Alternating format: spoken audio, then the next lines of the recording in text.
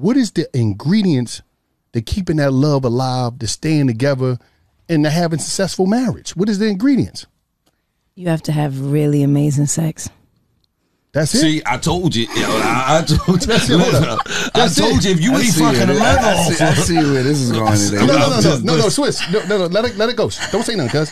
Finish, finish this up. So I think that you definitely have to really know how to treat a, the person that you love, and you have to satisfy them on multiple levels.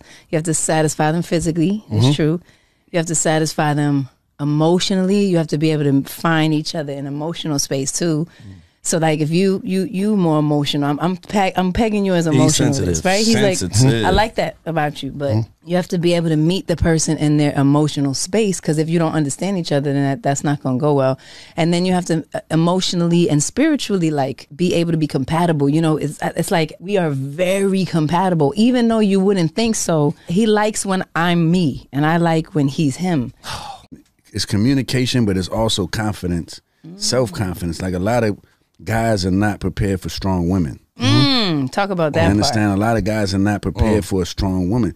And what we have is she's her boss, I'm my boss. She has her own accountants, I have my own accountants.